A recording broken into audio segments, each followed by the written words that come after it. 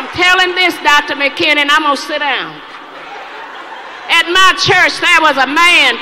They came in there to meet, came in there. He was going to take me out to dinner.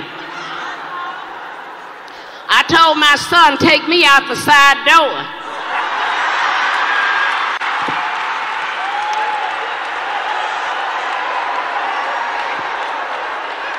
The first clue to me that I didn't need him, you get and what I get, we can live good. I said to him when he called me, I said, My husband takes better care of that and in the grave than you can take care of me.